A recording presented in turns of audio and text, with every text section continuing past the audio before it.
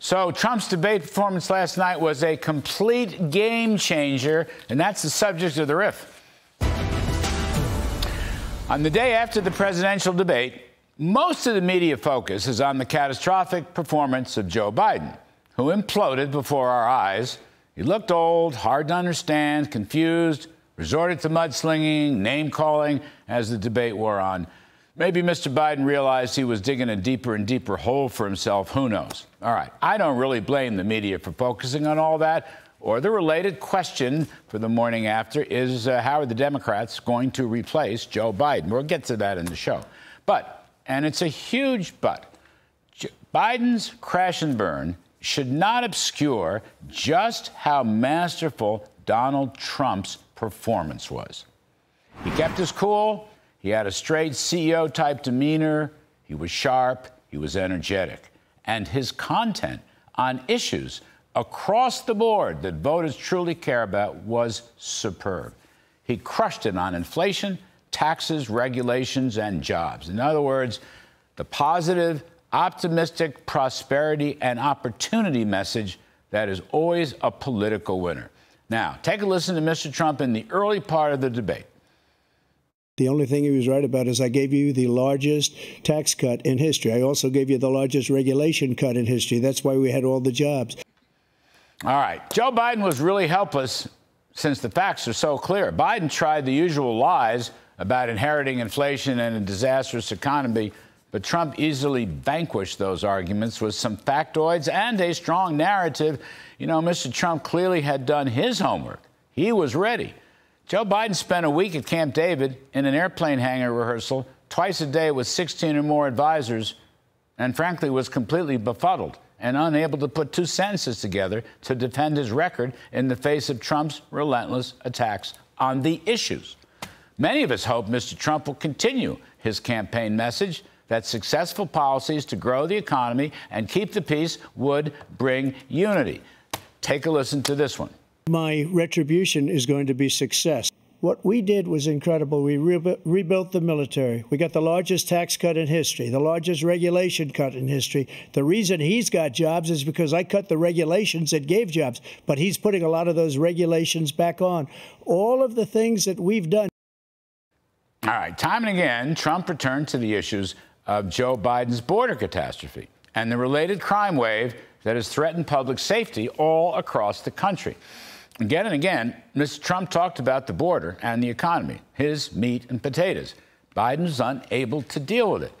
Then Biden starts slinging mud, calling Trump names, and of course, bringing up January 6, 2021. Now, on this point, Trump delivered what I thought was an absolutely brilliant response, which may well have been the most bone crushing, game changing moment of the entire debate last night. Take a listen to this.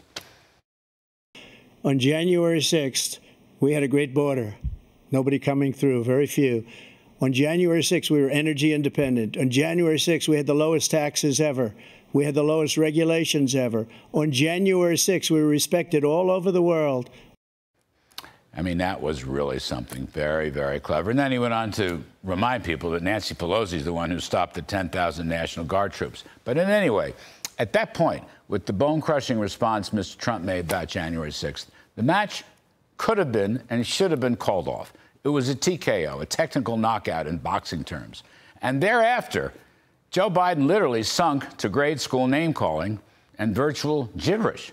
Now, on abortion, Mr. Trump was equally deft, defending the Supreme Court decision to move the matter to the states, and then the former president emphasized his view that to preserve exclusions for rape, incest, and the life of the woman. Then Trump correctly pointed out how radical and extreme the Democrats are on this issue. Take a listen to this. The problem they have is they're radical because they will take the life of a child in the eighth month, the ninth month, and even after birth. After birth, if you look at the former governor of Virginia, he was willing to do this. He said, We'll put the baby aside and we'll determine what we do with the baby, meaning we'll kill the baby. Now, at that point, Mr. Biden responds, launches into this incredibly offensive and irrational stream of consciousness about the dangers for young woman, women in different places. Just take a listen to this. It's beyond belief. The idea that she was murdered by a, by by an immigrant coming in. They talk about that, but here's the deal: there's a lot of young women are being raped by their by their in-laws, by their by, by their spouses, brothers and sisters, by oh, just it's, it's just ridiculous. I mean, does anybody have any idea where that came from? What he was talking about? What was its relevance? What was the context? Or if it had anything to do with abortion? But Mr. Trump quickly riposted by repeating the migrant crime wave, which has swept the country as a result of Mr. Biden's open border policies. And of course, unfortunately, we have seen awful, monstrous violence, rapes, and murders. Anyway, that stymied Biden even more. Now, look at this debate, in my view, will be a game changer. It's going to threaten Biden's candidacy. We'll talk about that later in the show. But the reality is, Biden was thrashed by Donald Trump on the issues. Mr. Biden may have had a cold. He may be too old. He may be cognitively impaired. He may have dementia. I cannot attest to any of those medical issues. Here's what I know.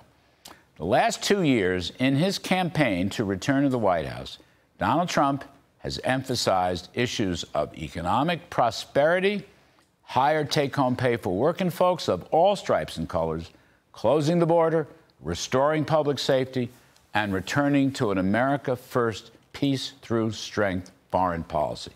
It is an optimistic, mainstream, common sense platform that is going to carry him back to the White House. You wait and see. And that's the riff.